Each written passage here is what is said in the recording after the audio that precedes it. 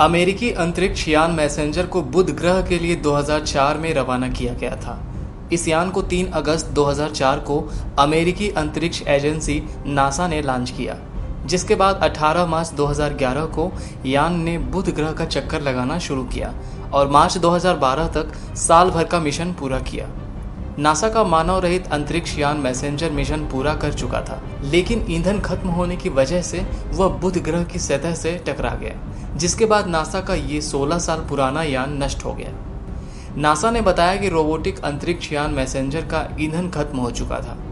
तीन दशमलव नौ एक किलोमीटर प्रति सेकंड की रफ्तार से चल रहे यान की टक्कर से बुध की सतह पर करीब 16 मीटर व्यास का गड्ढा बन गया। पिछले 16 साल तक धरती से इस यान का नियंत्रण करने वाले वैज्ञानिकों ने मिशन को सफल करार दिया।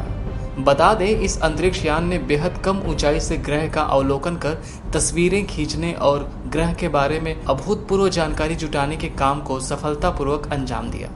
पिछले महीने इस अभियान को अंतिम लेकिन अल्पकालीन विस्तार दिया गया। इस दौरान अंतरिक्ष यान ने ग्रह के बेहद करीब यानी सतह से महज 5 से 35 किलोमीटर की ऊंचाई के बीच काम किया।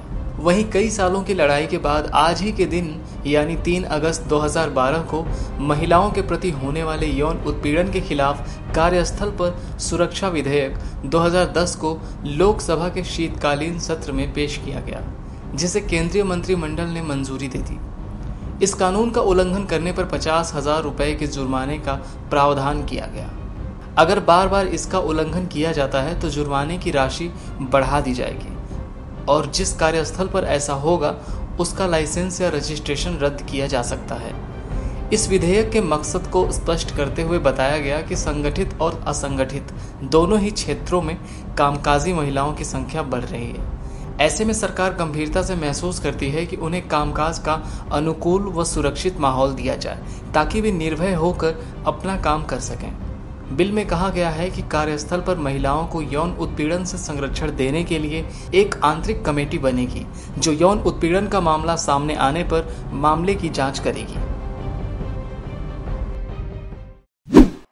हर खबर पर होगी आपकी पकड़।